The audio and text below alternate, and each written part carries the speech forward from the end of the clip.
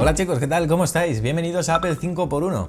Os traigo un vídeo cortito, esta semana vamos a traeros mini vídeos con consejos y trucos que os puedan ser útiles o que puedan ayudaros a resolver eh, pues algunas de esas dudas elementales que podemos tener cualquier usuario de equipos iOS o equipos Apple en general. Eh, bueno, ya sabéis, 5 de junio se va a presentar iOS 11, un sistema operativo que, como ya os hemos ido comentando en semanas anteriores, eh, va a dejar fuera los equipos de 64 bits y también, por supuesto, a esas aplicaciones que no estén compiladas en los 64 bits, es decir, todas esas que solo estén para los 32.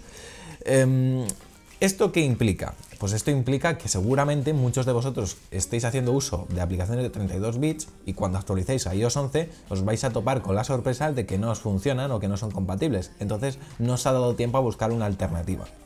Entonces este vídeo os va a ayudar precisamente a evitar eso.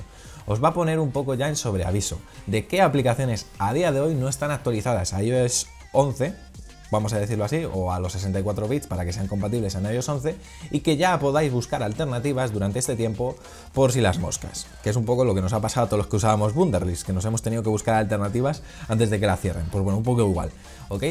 Como vais a ver, son pasos muy sencillos. Hay que decir que con la última actualización, eh, la 10.3.2, que no sabemos si a día de hoy ya habrá salido o no, cuando estoy grabando este vídeo todavía no ha salido, pero posiblemente cuando lo veáis en el futuro ya habrá salido, parece ser, al menos en lo que hemos visto en las betas, que la compatibilidad con las aplicaciones de 32 bits sigue estando presente, pero no es compatible la actualización con equipos de 64.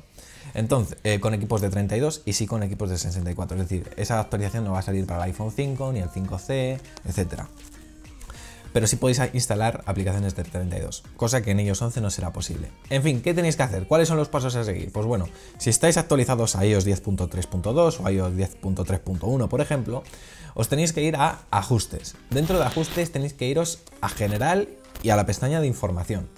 Y una vez estéis ahí, eh, tenéis que iros, eh, bajar un poquito y donde podéis ver eh, la pestaña que pone aplicaciones y podéis ver un numerito, podréis ver 24, 32, 40 y tantas, las aplicaciones que tengáis, os cuenta el número de aplicaciones que tenéis instaladas.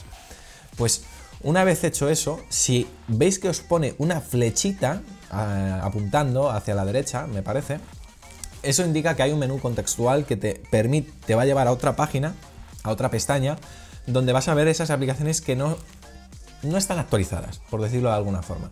Ahora mismo estaréis viendo, por ejemplo, uno que, hemos puesto nosotros, no sabemos si es la aplicación de cita sanitaria de Madrid, por ejemplo, es el que, el que había cogido yo.